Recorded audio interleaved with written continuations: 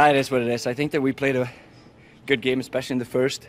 Uh, you know, uh, probably deserved a different outcome, but still down one nothing. And in the second, we kind of went away from it a little bit, and they took over, and they were a much better team. And in the third, I think that uh, you know we had we had the pushback that we needed, but we just couldn't find the back of the net. And um, you know, one of those games where uh, uh, they played a little bit smarter than we did, and that's why they won.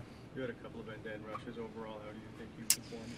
Not a little rusty, um, but overall it felt uh, it felt okay. I think that we played a well well enough game for me to get back into the groove of things, and uh, you know still got to fine tune a few things, and it's going to take some time. But overall, it felt uh, it felt uh, pretty decent out there, and I got some work to do. Better or worse than you expected? I didn't really have any expectations. Um, you know, overall, I, I still feel like uh, it wasn't that long ago since I played hockey for some reason, and uh, that's very rare for me to feel like that in the start of, of a year. So uh, in that aspect, it feels good. But uh, at the same time, you know, uh, I've been away for a while here, so got to get used to the speed out there a little bit, and uh, you know, every once in a while make a little couple better reads. Like you still feel as good as you did before. There's no post-game injury or anything. That, No, I feel I feel like I did before the game. A little bit more tired, uh, which is as expected. But overall, it felt pretty good. The uh, the breathing felt good. The legs felt good, and, and the head was still there. So uh, you know, I'm excited to move forward here and get things going for real. But again, I think that uh, uh, we did a lot of good things today, and, and we just got to bring those things with us in uh, Thursday games against the Jersey, and uh, you know, wash it down the toilet.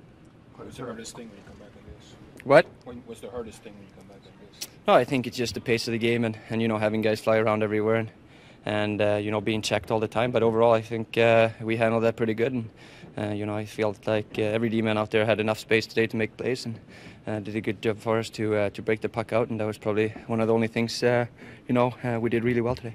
Quite a turn of events there with three minutes left, Erik, on your rush. Yeah, that's uh, that's going to happen sometimes, and not much you can do about it. Uh, can't control those things, and and again, that was kind of the way that the uh, the game went for us today. I think that for the most uh, most part, we we pushed the pace and we had a control, and we just couldn't find ways to score goals, and that's how it's going to be sometimes. We ran into a hot goalie, and he played really well for them, and you know they made a good job in, in making sure that he saw most of the puck. So uh, we got to work on getting a little bit better in front of the net, and. and you know, creating a little bit more, but overall, uh, I don't think that uh, uh, you know we should be too down on ourselves after today. I think that uh, we'll take the good part and, and wash this one away.